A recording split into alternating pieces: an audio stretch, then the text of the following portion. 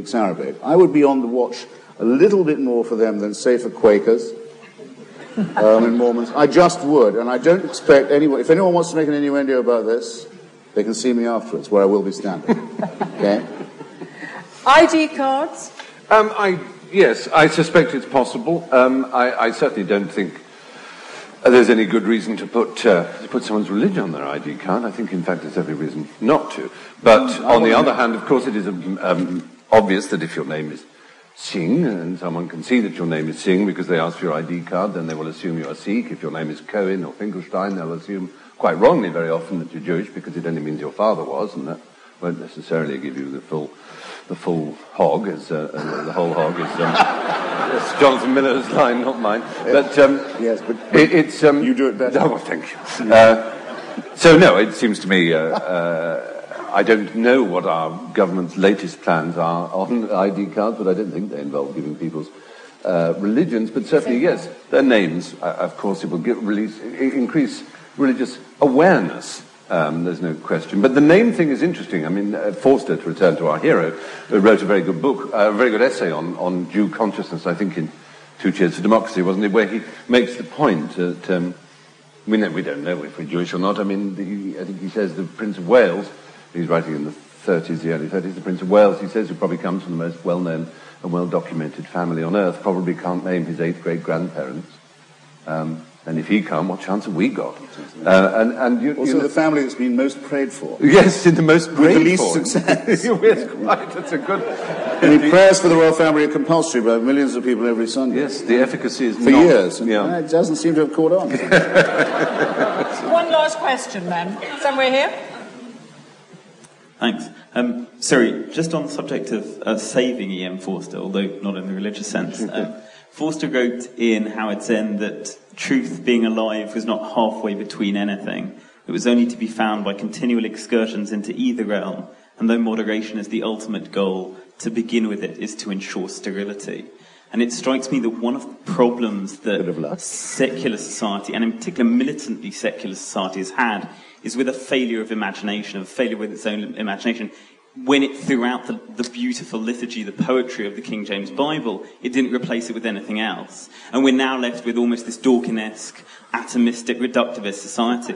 And if we are intent, as, as, as Christopher is, in, in being anti-theistic, in, in creating a society whereby we don't bow to the theism of the external God and we care about, you know, the internal uh, humanity, how can we infuse secular society with the poetry and the liturgy to make people care about each other in, in, a, in, in an almost religious notion? Thank you. Secular, yes. a failure of the imagination. I think, I think it's fair to say almost every failure of humanity is a failure of imagination to some extent, a failure to penetrate the minds of others.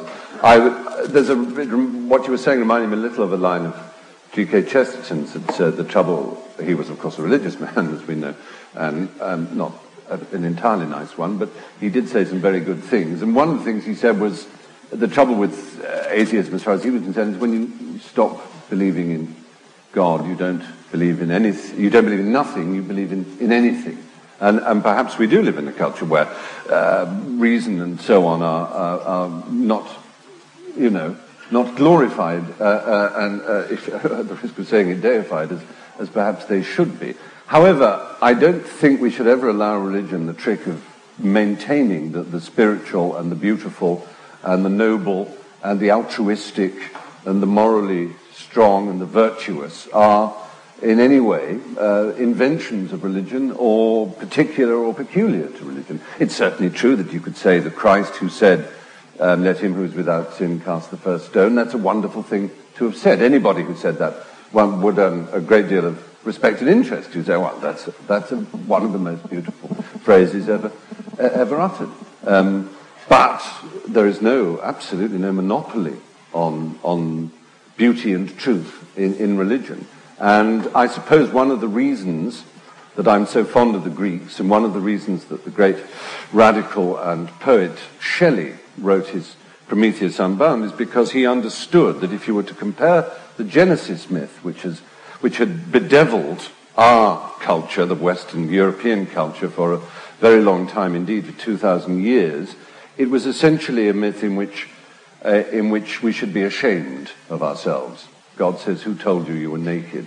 What possible reason have we to believe that we are naked, or that if we are naked, there is something to be ashamed of? That what we are and what we do is something for which we should ever apologize.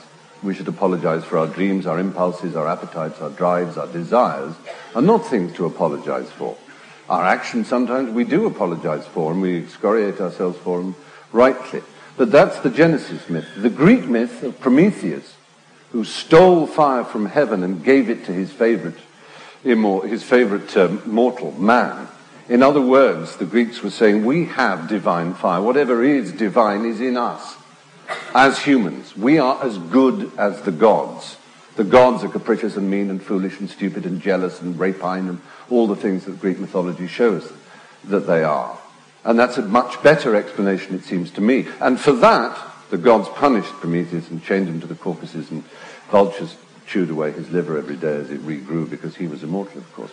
And, and, and Shelley quite rightly understood, and interestingly, his wife, of course, wrote Frankenstein as the modern Prometheus, understood that that mythological idea, the champion of a real humanity and a real humanism, as we've come to call it, is that we are captains of our soul and masters of our destiny, and that we contain any divine fire that there is, divine fire that is fine and great. I mean, it's perfectly obvious that if there were ever a God, he has lost all possible taste. You've only got to look, forget the, for, forget the aggression and the unpleasantness of the radical right or the Islamic uh, hordes to the east, um, the sheer lack of intelligence and insight and uh, ability to express themselves and to enthuse others of the priesthood, the clerisy here in this country, um, and indeed in Europe. God once had Bach and Michelangelo on his side. He had Mozart. And now, who does he have? People with ginger whiskers and tinted spectacles who, who reduce the glories of theology to a kind of sharing. You know, that's, that's what religion has become, a feeble and anemic uh, nonsense. Because we understood that the fire was within us. It was not in some idol on an altar, whether it was a gold cross or whether it was a Buddha or anything else. That we have it. The fault is in our stars, but also the glory is, is in us, not in our stars. The glory, anything, we take credit for what is great about man, and we take blame for what is dreadful about man. We neither grovel or apologize at the feet of a god, or are so infantile as to project the idea that we once had a father as human beings and we therefore should have a divine one too. We have to grow up, which is partly what Christopher was saying. Uh, Shalom. That is the most wonderful tribute to the human spirit. I use the word spirit. Do you want to, Mr. Nala?